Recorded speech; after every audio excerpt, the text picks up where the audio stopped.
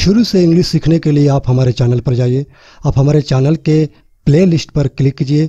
Play list open होने के बाद वहाँ पर लिखा हुआ आएगा step one step two step three हर स्टेप में लगभग 25 वीडियोस हैं तो आपको स्टेप वन से शुरू करना है।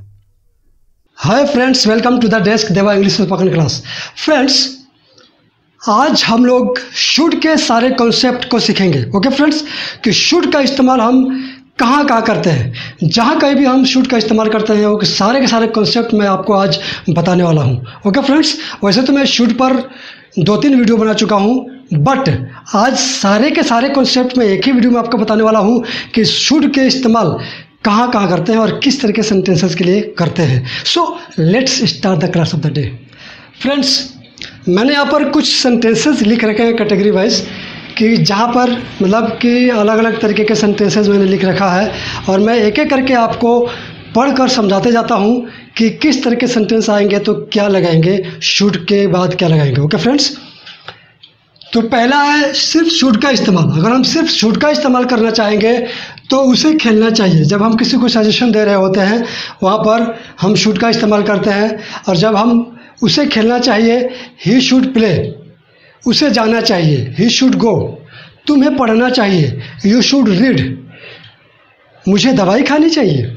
आई शुड टेक मेडिसिन अब यहाँ पर जितने भी मैंने सेंटेंस बोले, उसमें अगर हम ज़रूर बोले कि तुम्हें ज़रूर पढ़ना चाहिए यू मस्ट रीड तो वहाँ पर शुड की जगह पर मस्ट का हम इस्तेमाल करेंगे। ओके फ्रेंड्स फिर वहाँ पर जब भी ज़रूर होगा या अवश्य होगा तो वहाँ पर हम शूट का नहीं, बल्कि मस्ट का इस्तेमाल करेंगे शूट की जगह पर, ठीक है?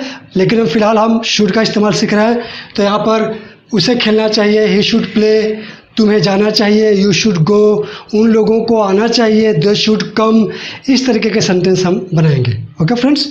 शुड के साथ बी का इस्तेमाल हम कब करते हैं? जैसे सेंटेंस अगर ऐसा हो कि उसे घर पर होना चाहिए होना चाहिए जब होना चाहिए का बोध सेंटेंस में, या सेंटेंस में जब होना चाहिए है तो वहाँ पर हम शुड बी का इस्तेमाल करेंगे।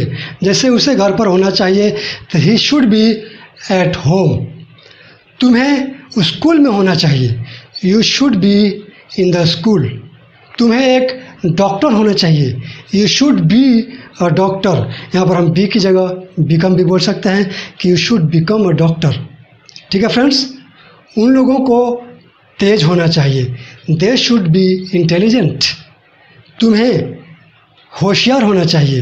यू शुड बी क्लेवर उन लोगों को ईमानदार होना चाहिए।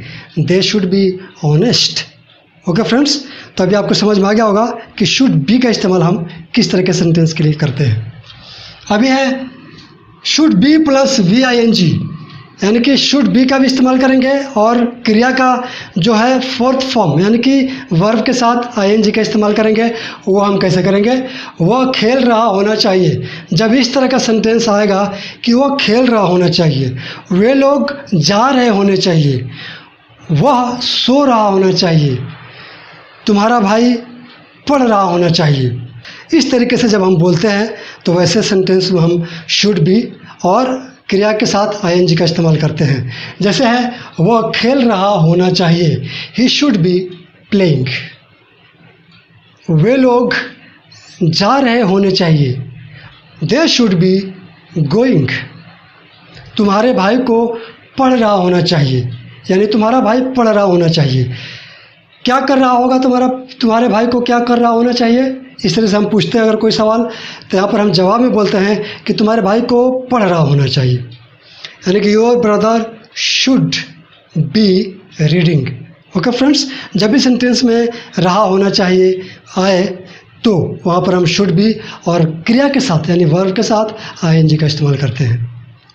अभी ये शुड बी के साथ वर्ब का तीसरा फॉर्म यानी कि शुड बी के साथ हम वर्ब का थर्ड फॉर्म कब इस्तेमाल करते हैं। ये सेंटेंस उसे पीटा जाना चाहिए।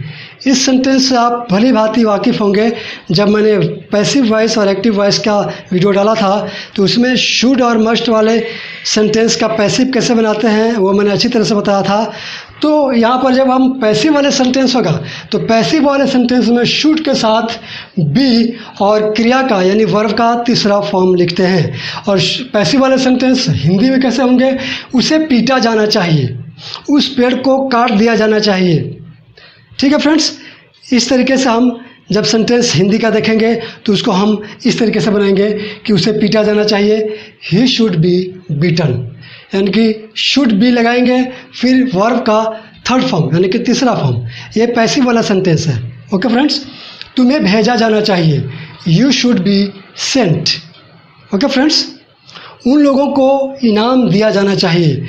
They should be given reward given award okay friends उस पेड़ को काट दिया जाना चाहिए। That tree should be cut इस तरीके से हम जब शुड बी के बाद तीसरा फॉर्म लिखते हैं वी का, यानी कि वर्ब का तो सेंटेंस ऐसा होता है। ओके फ्रेंड्स उसके बाद है should have plus V three should have plus V three का इस्तेमाल हम ऐसे सेंटेंस में करते हैं, जैसे पहला जो मैंने बनाया था कि तुम्हें उसे खेलना चाहिए तो उसे खेलना चाहिए प्रेजेंट का सेंटेंस हो गया। हम प्रेजेंट में एडवाइस दे रहे हैं बट हम पास्ट के लिए एडवाइस दे रहे होते हैं कि उसे खेलना चाहिए था। तो इस तरह के सेंटेंस में should have plus V three का इस्तेमाल करेंगे।